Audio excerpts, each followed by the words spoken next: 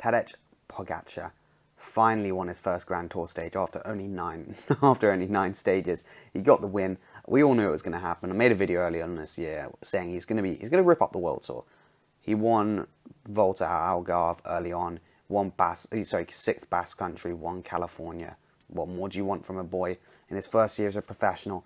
I got told by the UAE team that he was not going to be uh, doing a Grand Tour this year, which is uh, a bit disappointing. Anyway, uh, it has changed, and he's done the Grand Tour, so it's great. Anyway, so 2 hours 58, but for 48 seconds into Valverde.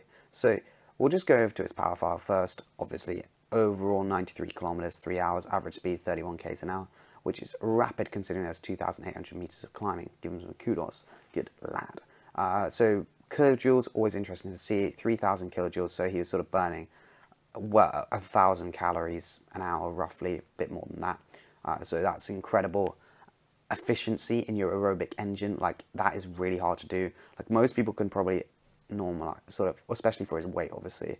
Um, that is very, very impressive. And his weighted average power is 325. I think it's more like 340, um, just on normalized, sorry, normalized power, because Strava weighted average power is stupid and I hate it. And anyone who says it's the same is not. He uses like 20 second rolling average power instead of 30 second rolling average power. It's dumb. Strava, just pay up to Coggan he's a legend. Anyway, 50, sorry, he's about 62 kilos according to my calculations, which we will see in a minute. So, first climb is Encamp Coldor, Coll d'Ordino. Uh, pretty much, pretty simple climb, 318 watts. That's about 5.2, 5 watts per kilo. 5.1, sorry, watts per kilo or so. So for him, that's zone three, very like very zone three, not tempo, the sort of tempo, not sweet spot, anything like that, just tempo. So for him, nothing crazy at all. That's that would be very comfortable for him.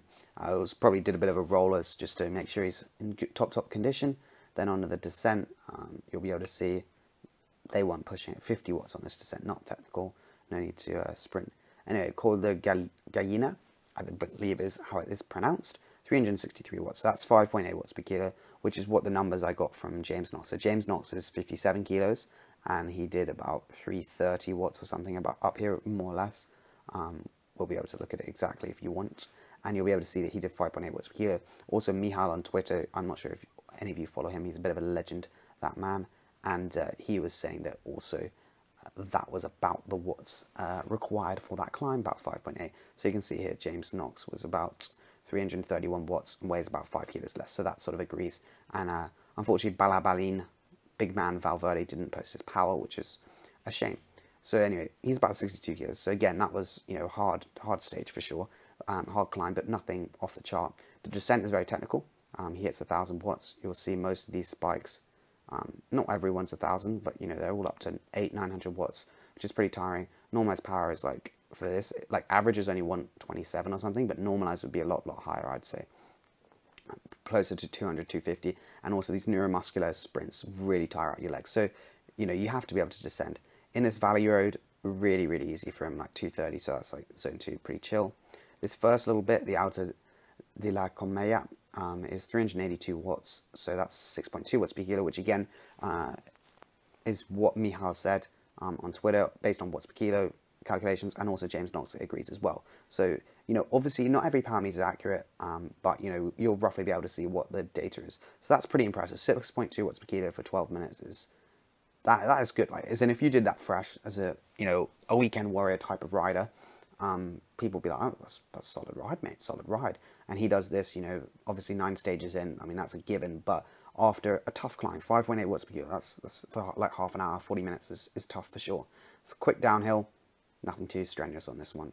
Pretty easy, 127 watts. And then this is starts to get up to more of the main climb uh, here, which just before the descent where the Lopez and Roglic crashed. So 360 watts, so again 5.8 watts per kilo. That seemed to be pretty thing, uh, pretty standard. He was chasing Miguel Angel Lopez, who had attacked and was up the road with Quintana, Roglic, and everyone else. Then we have a bit of technical downhill on this part here. It looks flat and it's not really flat. So anyway, this technical downhill where everyone crashed. He still does 238 watts, so you can see he's pedaling a bit down here. It's past this lake was where, yeah, sorry, this lake here was sort of the bad section of technical descent. And then we have the final bit of Cortals, which sorry includes this bit here. Um, but if we look at this, this is where he dropped the big numbers to drop Valverde, and this is where he dropped Quintana. He didn't average too much in these attacks. You can see sort of went up 600 watts. Everyone's in so much oxygen debt, it's quite high up as well.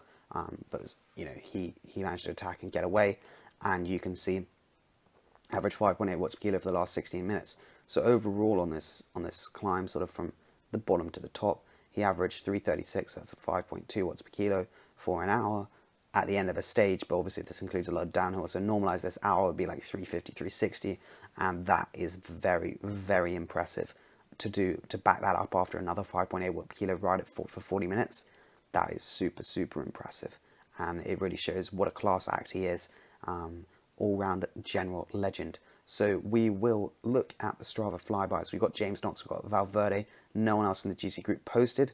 Uh, and so we'll zoom out and you'll be able to see it's a, la- a, nice lap of Andorra. Obviously, at the beginning, they were all just cruising around and uh, all together.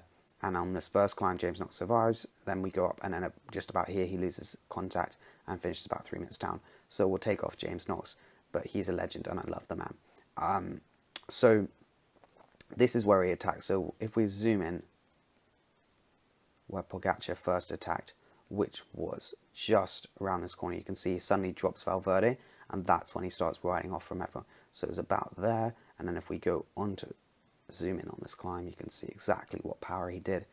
And I really like Strava for, you know, obviously they can improve their flybys a little bit and a couple other things. Um,